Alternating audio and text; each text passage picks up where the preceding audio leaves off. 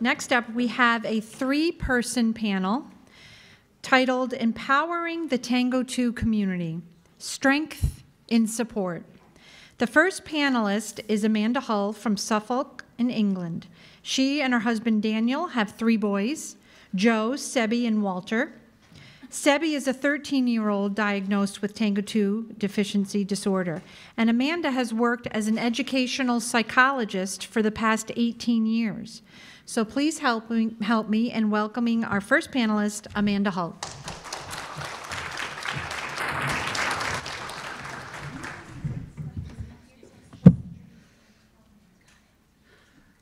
Morning. Uh, so, I've written down my name's Amanda, and uh, I have three boys uh, Sebby, Joe, and Walter. And Sebby has uh, Tango 2 disorder. Um, so, I am an educational psychologist by trade. Uh, that's my job day to day, and I work within the mental health arena uh, with children and adults on a daily basis. So I was asked here to talk to you today. I've um, recorded some podcasts, which a couple are live on YouTube right now, and I think there's one more to go on around mental health and well-being for caregivers and uh, recommendations, advice, things like that to do. So it's not research based, it's not what you've uh, been listening to for the last day and a half. So um, I'm just going to talk to you about what that means in terms of mental health and uh, being a caregiver. Uh, so It isn't just my academic qualifications and practice that allow me to have a good understanding and knowledge of the importance of mental health, although I hope I do. I've got a doctorate in it, so I'm hoping so. Um, um, but it's also my family life as a parent in general, um, and a parent in general, and as a special needs, additional needs parent Tango 2 parents. So we, lots of us sitting in this room know what that means in terms of the toll it can take on our well-being and mental health. And we do need to look after ourselves as well. So the aim of the podcast were to give you some tips and ideas and probably reminders, because I think you probably all know it, but we might not put it into practice on how to look after ourselves. Um, the toll that caring for someone who has complex needs can be great. Um, and we do stand a much better chance of thriving as a special needs parent rather than simply surviving if we fill our own cups, that was good because Kasha talked about that yesterday, and protect our own well-being too. So doing this will help build our capacity to cope, protect us from emotional harm and build resilience, not only in the day-to-day -day demands, but also in the periods of extreme stress and the challenging times that we can all face. So I think lots of us as parents have been through um, trauma, not to put it too uh, lightly, really, trauma with a capital T sometimes, and sometimes it's ongoing and it's day to day. So, what can we do to survive this? What can we do to thrive in these environments and recover from those situations which are particularly tricky? Um, so, I'm just going to give you a kind of a quick synopsis of what, what we talked about in the podcasts um, so that hopefully you'll go and watch them and, and uh, get, so, get a bit more detail from them. So, um, Here's a few little things. What it's useful to do is notice. Notice what's happening in our bodies. Notice what's going on for you. And the symptoms that are happening inside our bodies really are linked with our thoughts as well. So the things that are happening, how we process that, what happens in our body. Um, our thoughts and feelings can trigger physical responses and behaviours. So what I want you to do is just imagine for a moment, and I'm not telling you anything you don't know. This is just bringing your mind to it and remembering that things you already know. Think about a time maybe when you felt anxious. That's easy for us all to do because it's a normal human emotion. Everybody eh, has experienced anxiety at some point. Um, what was your body doing when you felt anxious? Was your heart doing something? Was your temperature going up? So we have physical feelings, we have thoughts, feelings, and we have behaviours when we're anxious, all of those things. Um, so did your heart rise? Did you feel hot? Did you begin to sweat? Did your mind go blank? Did your stomach churn? Did your thoughts speed up or slow down? Did you pace around or jiggle about, you know, movement? Um, all of these things are behaviours associated with that feeling of anxiety. So if you can catch yourself doing certain things, you might be able to catch yourself thinking certain things and then have some control over it. That's just a really basic example. Here's some other things that can be helpful for your well-being. So getting outside, fresh air, maybe not in the really hot, humid uh, Florida heat sometimes. Uh, depends what you like. um, or if you're in England, you know, put your raincoat on because it always rains um, and it's cold. Uh, so being outside, just fresh air, nature, noticing things, taking things in, being grateful for the surroundings that you're in, giving, and that, and that actually gives you just a little bit of time to yourself by being outside. So do you like to walk? Do you like to run? I, some people do. I, I don't understand it myself, but some people like to run. I like to walk. Um, some people like to swim. Some people like to go and take photographs. Some people like to walk with a friend and have a conversation, have a chat. Um, building connection and community. So I'm talking to the already mindful of that because you're here today. Um, but building that community, finding things in common with people. Um, so if you're a caregiver, you know, hang out with other caregivers, talk to them about what that's like, talk to them how you feel, talk to about, you know, because there's no there's no judgment there because everybody's in the same boat and it makes you feel more normal. It makes your life feel more typical, um, particularly if it's not every day for you. You know, your circle of friends aren't the same as you. So it's important to connect and communicate, be part of a community. Talk to people, don't bottle it up.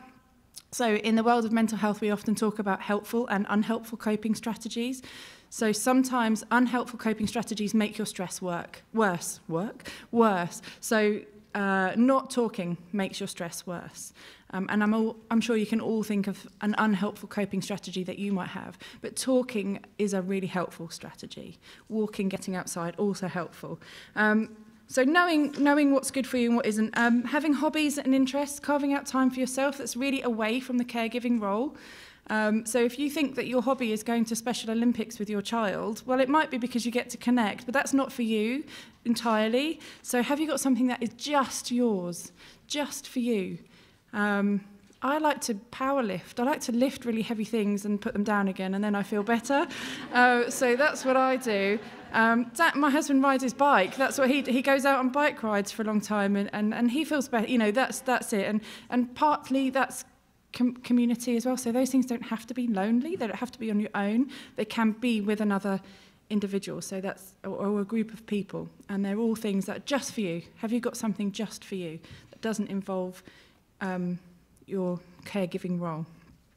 Okay, taking care of your own physical health, and I think often we neglect that as a carer. We kind of say, "Oh, you know, that that leg that's hanging off, it doesn't. I'll, I'll go next week. That's fine." Um, so take care because if you aren't well, you can't be as good in your role as a caregiver, and that's really important to look after yourself and your own health and well-being. Um, and then an, a whole entire podcast episode that we talked about was journaling. Um, and so some people already do that. Some people are really good at that. And for some people, that feels like uh, that's not for me. That's re- it is for everybody. I believe me. It's really, really good stuff. So if you were to watch the podcast, it's just about finding things you're grateful for, making intentions for yourself, having some reflective time. Um, and I, I always go with the phrase of being a reflective person rather than a reactive person. So if you can reflect on a situation and be preactive rather than reactive, then you you stand a much better stead of, of managing it well and being able to cope with it. Um, okay, so I'm just going to go through with you one of my favourite all-time well-being activities now. You've all got a piece of chocolate in front of you, hopefully. Um, I'm really hoping you, you haven't eaten it yet. So um, I, I will give you this little confession. We managed to leave Seb's suitcase at home in the UK, so and in it was the my uh, UK chocolate. and um, uh, I don't think the American chocolate is up to standard. I don't think it's as, it's not as good as the UK chocolate. Um, so sorry, I, I was going to bring some UK chocolate, but I didn't. But I found the next best thing, which is Lindt chocolate. So please refrain right now. Just look at your chocolate. Don't eat it. If you've eaten it, put your hand up. Dan will give you another bit. Um, we are going to do chocolate mindfulness. So I really want you to just focus, forget everything else that's going on for you right now. You can remember all the science and the talks again afterwards, but um, what I'd like you to do is just focus on this chocolate, and I'm going to take you through a chocolate mindfulness activity. If you've unwrapped it already, stop it. You haven't, you're not allowed to do it. I can see you. Okay, so um, right, follow the instructions. Just focus on your chocolate, nothing else. And even in a time when life might be really difficult, remember this fun activity and think, can I pick up a piece of chocolate and do this again and just have two minutes to myself and really focus on this lovely. I'm really sorry if you don't like chocolate or you've got a dairy allergy. You'll just have to, you know, imagine. Okay, so pick up your wrapped chocolate in your hand, but don't unwrap it. Don't unwrap it. no. Hold on to it. Just, just have it in your hand. So place it in the palm of your hand. and right now, what I'd like you to do is look at it. Okay, notice the colours and the shapes on the package. Feel the weight in your hand. Pretend like you've never seen a wrapped chocolate bar and examine it closely. Have a really good look. Touch the package with your fingers and feel its texture. What does it feel like? Pay attention to any sound that the wrapper might make. Examine the wrapper, notice all of the colours, notice the print that's on there. What does it look like? If you've ever chowed back a bag of Lindt chocolate before, you might not have noticed this.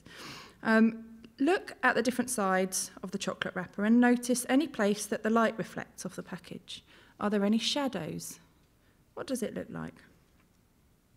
If your mind has begun to wander and think about other things, that's okay. Just notice the thoughts and bring your attention back to the chocolate. Now begin to slowly open the wrapper. Listen for the sounds of the wrapper tearing and opening. Notice the movement of your hand, your fingers, the arm muscles as you open your chocolate. You may hear other people, you have heard other people opening their chocolate too. Notice the sounds and bring your atten- attention back to your chocolate. Raise the chocolate to your nose and give it a smell. Slowly breathe in several times and focus on the different smells you can get. Does smelling the chocolate trigger anything else in your body? Can you notice anything else happening in your body as you smell the chocolate? Is your mouth watering? Have you got any other thoughts like, hurry up and let me eat this chocolate? What's taking so long? Um, if so, notice them and bring your atten- attention back to just the smell of the chocolate.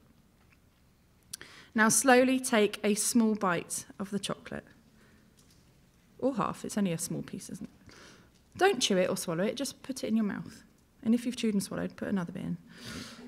Uh, notice the taste and the feeling of the chocolate in your mouth. How does it feel as it starts to melt? Notice, that's a good noise. Notice the sensation of the chocolate on your tongue. How is that feeling for you? How long does it take to melt? Move the chocolate around your mouth and try to notice the moment where you feel like you want to swallow. Slowly swallow the chocolate, focusing on all the sensations that are happening in your body right now. Notice have you got any lingering tastes or sensation in your mouth? And I'm willing to bet for 100% of you this was different to eating chocolate in a normal way. So, how is it different? How has it felt?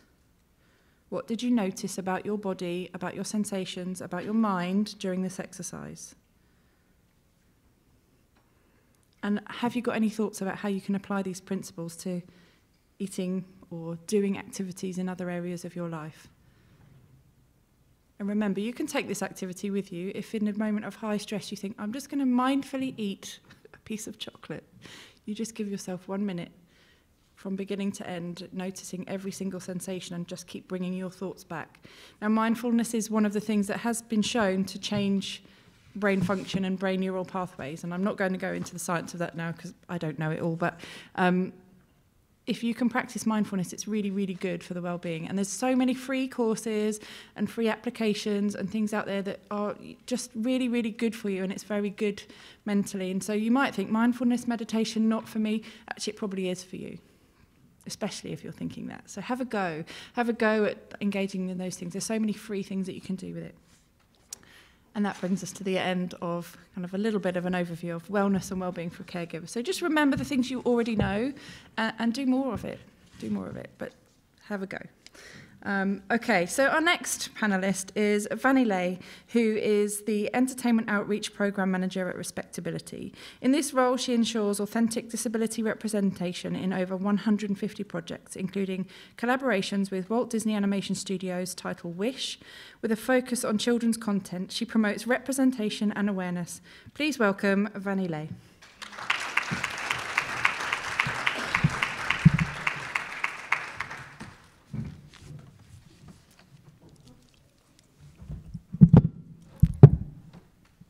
Hello. All right. Hello, everyone. Thank you so much, Tango 2 Research Foundation, for having me. Um, my name is Vanni Le. Um, I am the Senior Manager of Entertainment Partnerships at Respectability.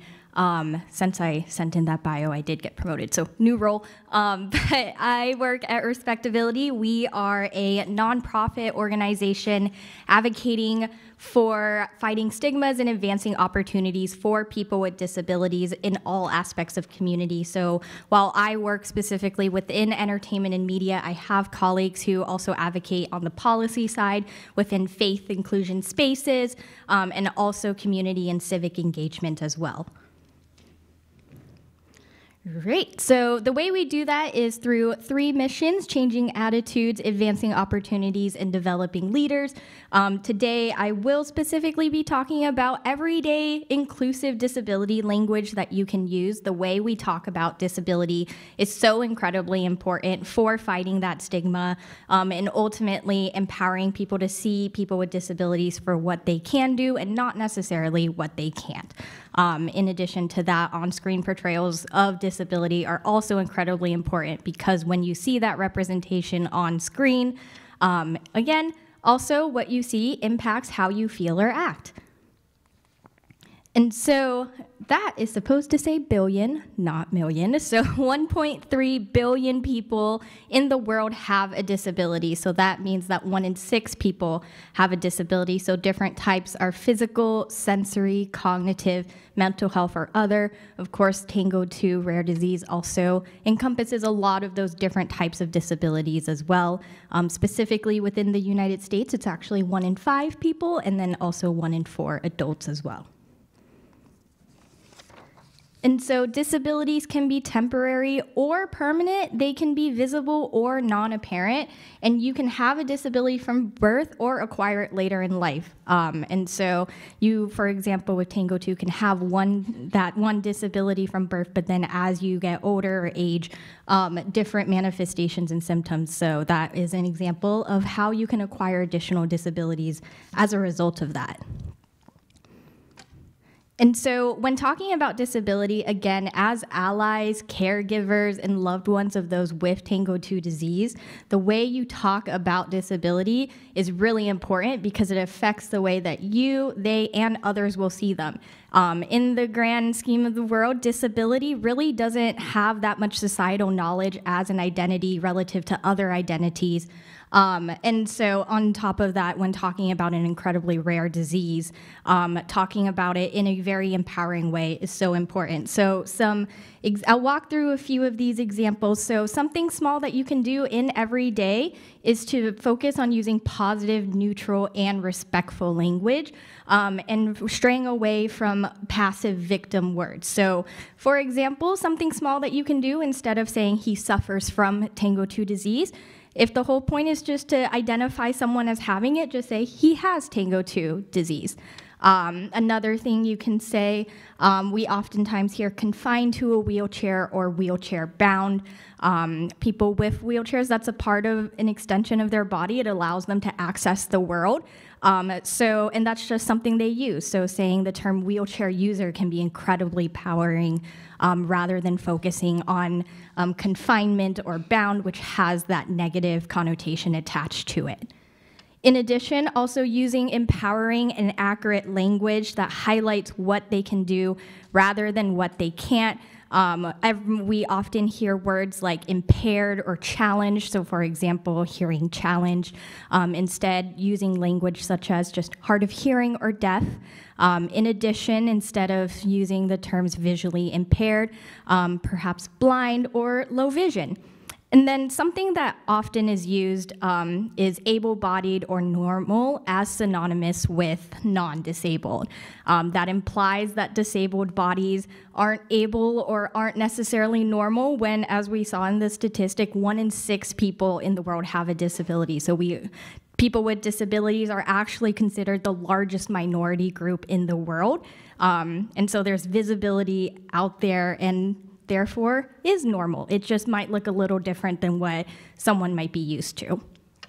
And then something that I myself am actively trying to do is eliminate common ableist language from our everyday vocabulary. So, some words that you may often hear or use yourself, um, as do I, are crazy, tone deaf, insane, blindly. So, maybe instead of calling something crazy, just saying, oh, that's silly or that's ridiculous, um, instead of saying tone deaf or blindly, saying, oh, that's um, you're unaware or ignorant. Um, and those are words that are not only more respectful and accurate to what you're trying to describe, but also are more inclusive and not leaning into those ableist language. Um, thing, words like deaf, um, deaf mute, um, mute and deaf and dumb can be seen as offensive. Um, using terms like nonverbal and non-speaking are more appropriate and considered inclusive language, and again goes a long way to fighting that stigma.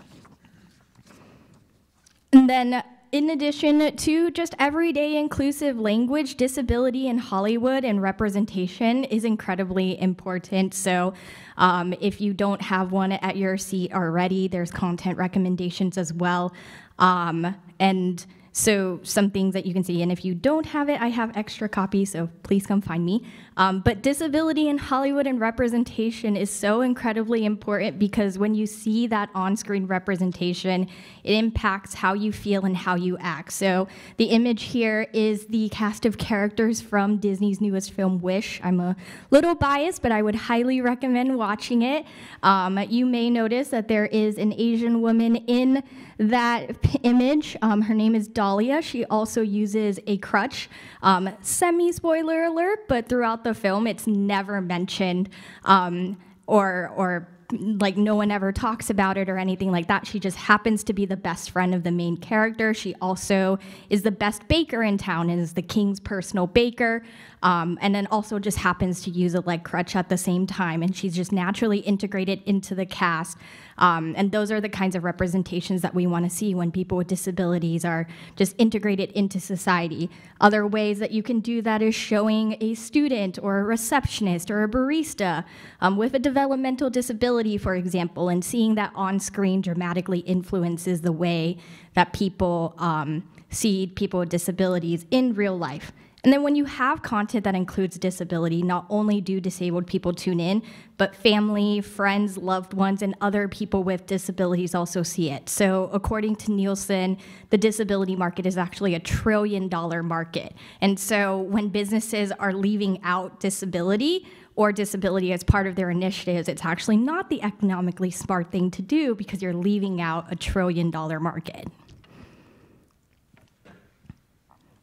And then within children's content and children's TV, unfortunately, we have a lot of work to do, which is why I'm in the profession I am. I love that I get paid to just watch movies and TV shows, but within children's TV, um, less than 1% of leading characters have a disability, and that is awful because that means that that shows that people with disabilities aren't deserving of being leading characters when that's not necessarily the case. You're the main character of your own life and your own story, and we deserve to have that representation on screen as well. And then uh, in family film specifically, a historic high of a whopping 8% of family films have a lead character with a disability. So we're advocating and striving for more and better. But within that representation, we do see positive depictions of people with disabilities in the workplace. So they're more likely to be seen as hardworking in management, in STEM careers, and also as leaders. And then, uh, in addition to those content recommendations that are in the document, I wanted to highlight one specific example um, that's kind of universally relatable if you haven't seen this film. Um, and maybe it's one that you didn't realize was disability representation, but Finding Dory is actually a fantastic example of a film that has disability inclusive content because there are multiple characters with disabilities, including the lead character herself, Dory. So Dory has short term memory loss, if you recall, but then there are other characters such as Nemo that has physical disabilities. One fin is smaller than the other, um, and it's a major plot point also in Finding Nemo as well with Gill in the first film. And then Hank, who is missing a tentacle, Destiny, who has low vision, and then Bailey, who has difficulty with echolocation. So, yes, you can portray human disabilities in animal characters as well, and that really resonates. Um, the beautiful thing about Finding Dory is that in throughout the film, disability isn't necessarily something that Dory has to overcome, but something that she just learns to live with and do things in her own Dory way. You might recall the iconic line, just keep swimming. Um, and that's exactly what Dory does. All right, and that brings me to the end of my presentation. Again, there are other content recommendations in that document. Um, had I made the handout later, I would have added Inside Out 2 to that because I just saw that uh, yesterday. So would highly recommend great representation of anxiety. Um, but with that, that is all I have for you. So thank you so much for having me. With that, I will pass it on to the next panelist, which is Ronda Thorington. So, Ronda Thorington is a licensed professional counselor with a career spanning over 20 years, and she is devoted to providing mental health treatment to families and individuals of all ages. Um, in 2012, her life took a turn when one of her three children was diagnosed with mixed connective tissue disease at the age of four. So she now uses her clinical expertise to coach families facing life challenging medical diagnoses by sharing valuable tools and strategies developed throughout her journey. So, with that, please welcome Ronda Thorington.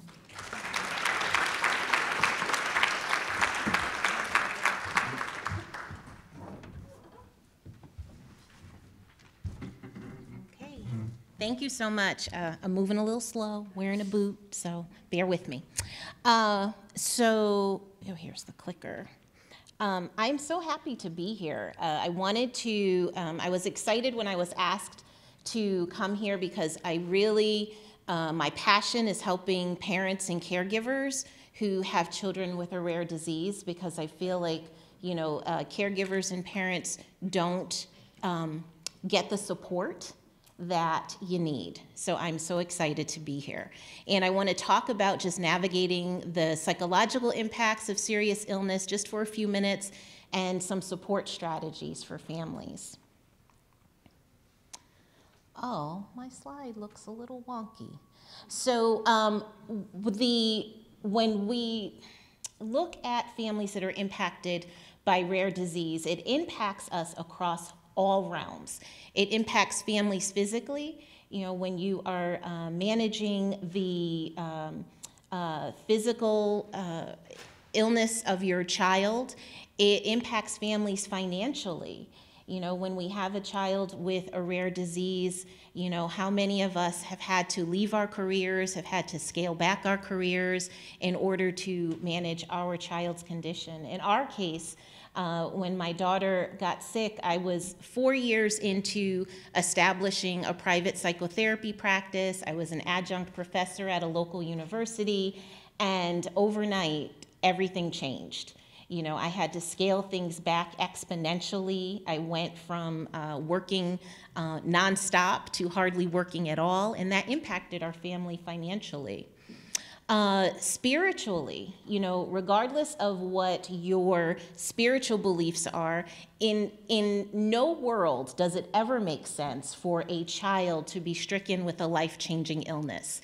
And undoubtedly, we are always left wondering why. You know, why did this happen? You know, why is this okay? This is not fair. So, and lastly, the psychological ramifications, too. So, when we look at the psychological impacts of serious illness, what we know to be true, what the research shows us, is that um, upwards of 70% of caregivers um, have increased rates of anxiety, depression, and stress when it comes to uh, caregiving of a child with a rare or chronic illness. Uh, caregivers have increased rates of anxiety, uh, increased rates of depression, uh, increased rates of chronic stress. Uh, post-traumatic stress disorder, this is something that we are often, we often don't discuss. You know, there's the whole, uh, the, you know, uh, uh, relatively uh, recent research has shown there's this whole phenomenon of medical PTSD, where parents and caregivers and patients are actually traumatized by the very medical treatments uh, that are designed to help. You know, uh, post traumatic stress disorder as a result of um, symptoms as a result of medical gaslighting. You know, how many of us have experienced uh, medical providers that don't take our concerns seriously? You know, I will um, say to you, I know none of the providers in this room uh, do that, uh, but um, I will tell you, even now, 12 years into the journey, uh, I always second guess myself before I call my medical provider to discuss concerns about my daughter because I wonder, okay, is this does this really rise to the level of acuity where I need to involve them? Are they going to be dismissive of my concerns? So that really sticks with you. Um, I'll also share with you in terms of uh, like the PTSD piece. Um, so last summer, uh, our daughter was uh, placed on a medication that had some um, neuropsychiatric side effects, and she, as a result, developed a medication induced mood disorder.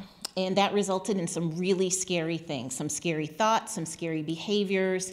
And, you know, thankfully, uh, she got through it. We got through it as a family, but that was traumatic. It was traumatic for me as her mom. It was traumatic for her, for her siblings, for her dad. And so fast forward a year later, you know, because the the um, the worst of the symptoms occurred when we were on vacation last summer. So fast forward to this summer, we're at the happiest place on earth, and I find myself going back to last summer when she had such difficulty, such dark thoughts, and we had to make some um, very um, uh, we had to have discussions and make decisions that we never thought we would have to have for one of our children. So even now, the trauma of that, the triggers to the memories, I have to uh, even remind myself now that this is a year later, we are not back there. So even now, the post traumatic stress is still very real. Uh, the other, another psychological impact of serious illness is grief. You know, we often talk about uh, grief as it relates to loss of life, but there is also the notion of, you know, grief as it relates to loss of career you know, grief as it relates to loss of um, financial resources. You know, grief as it relates to, you know, loss of the child and that you thought you were going to have.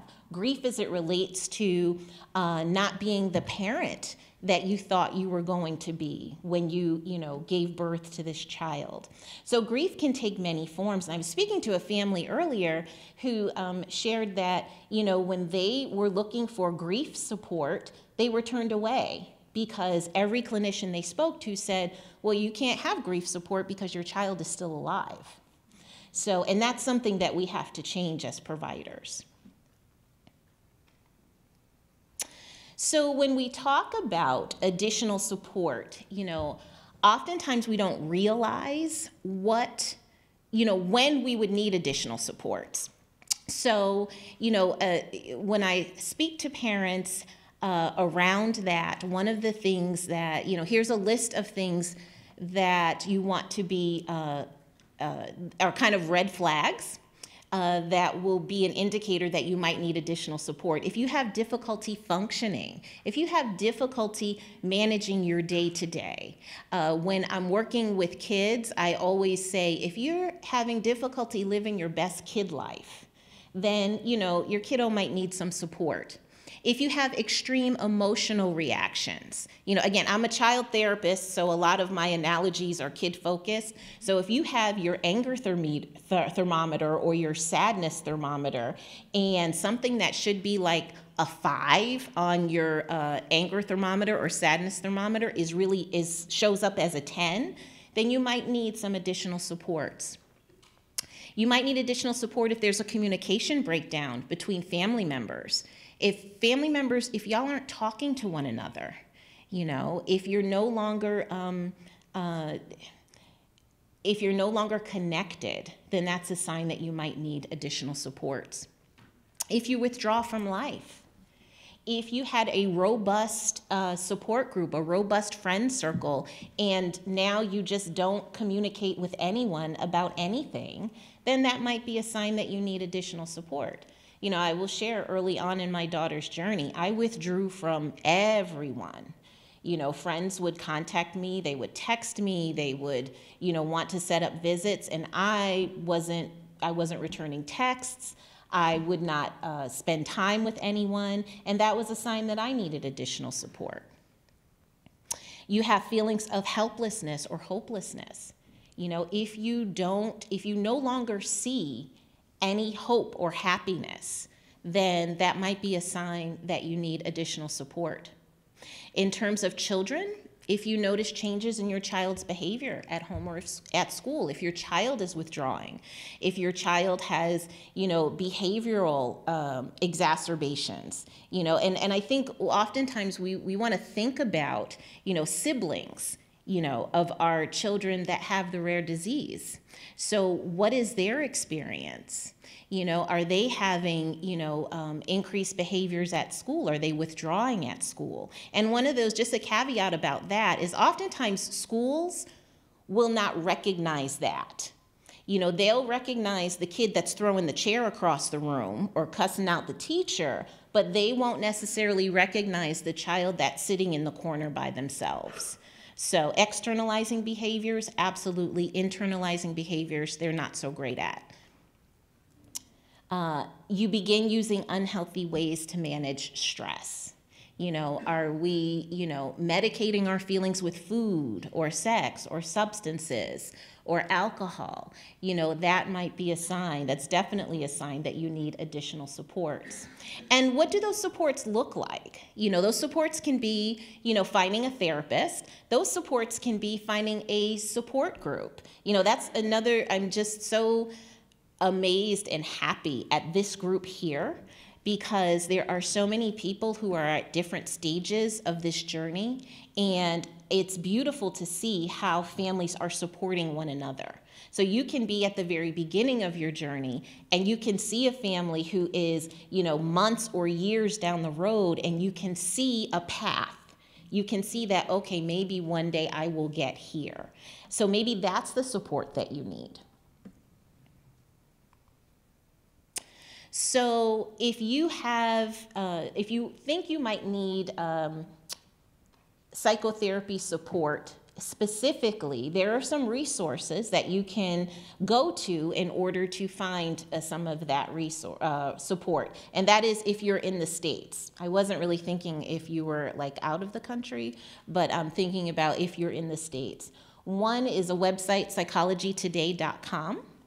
Uh, and what I like about that website is you can go in and filter uh, resource the you can do specific filters for that. And one of the filters you can utilize is uh, chronic pain, chronic illness, uh, and you can look for a provider in your area.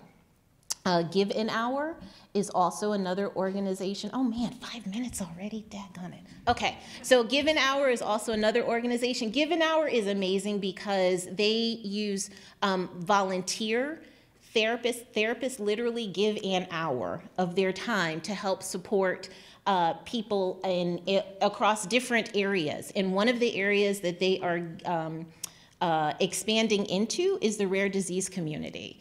So, and they're um, putting a lot of resources into training therapists on how to work with families in the rare disease community.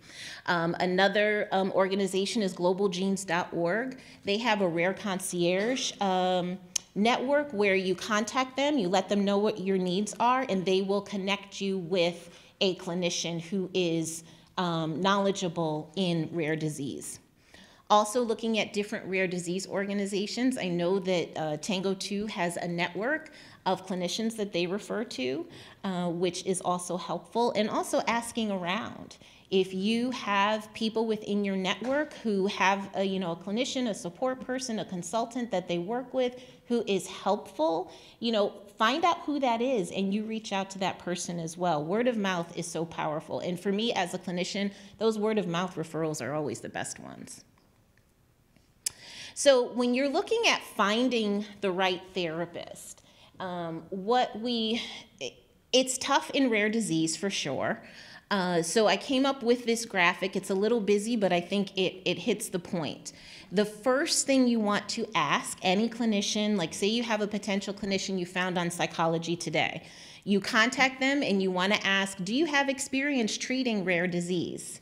You know, do you have experience treating, you know, Tango 2?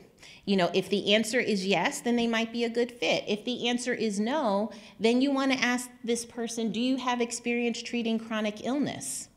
If the answer is yes, could also be a good fit. If the answer is no, then you want to ask, okay, do you have experience treating, in this graphic I have, do you have experience treating chronic pain? Because that's the thing that kind of resonates uh, most with our situation and with my daughter. But whatever is the thing that resonates with you, do you have experience treating metabolic crisis?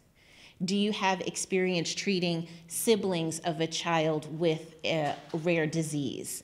You know, so whatever that piece is that resonates with you, ask. So, and when you're reaching out to a clinician, everyone, well, I won't say everyone, um, clinicians should be willing to offer a, uh, a consultation with you. So, and typically those consultations are about 15 minutes, and typically they're complimentary because you got to figure out if it's a right fit. If a clinician won't do that, then that might not be the right clinician for you and your family. So once you found someone that might be a good fit, then again, you want to ask for a consultation and then you want to look at some important questions. You know, what's your training? How long have you worked in this field? What populations do you work with? Because the therapeutic relationship is a relationship, so it's a two way street. So you get to decide is this person someone who is going to be a good fit for me? Um, tell me about what kinds of therapy and treatment you practice. What can I expect during treatment? How soon should I start feeling better? Because nobody wants to be in therapy forever. So, how soon should I uh, expect to start feeling better? And how will you assess my progress? Um, what should I do if I don't feel better? And the last one, how much will treatment cost? Do you take my insurance? Are you in network? Are you, you know, do you have a sliding scale? All right, we're gonna move forward because I got one minute. Okay, but building support within the family. You know, it's important within the family. Make sure, be clear about asking for what you need. Be real specific about that. If you need someone to come over eh, so that to sit with your child so that you can take a shower, be specific Ask for those things. Um, because my mama has a saying, a closed mouth don't get fed. So ask for what you need. Make room for siblings too. You know, it's important to make sure you are, and I know everyone in here is spending time with the siblings, but you want to label it because unless you label it, they don't, it gets lost. So, like I guarantee, my kids are at the parks today. We're going to be at the parks all week. Unless I say, wow, wasn't that a wonderful vacation we had at Disney and we spent so much quality time together, then in three weeks they're going to be like, y'all never spend time with us. So, so you have to label it, okay? And lastly, don't neglect your other relationships. So, you know, so many um, marriages and partnerships end because of trauma you know, as a result of trauma, not being able to navigate past it. And so, just it, the way to think about it, the way me and my husband think about it, is that we're on the same team. There is no one in this world who knows more intimately what it's like to experience what we have gone through with our daughter than him. So, you know, looking at your partner as your partner and being on the same team is vitally important. So, and you need support. You know, we can't do this alone. So don't um, uh, uh, don't hurt yourself by not allowing yourself to lean on your supports. So, thank you very much.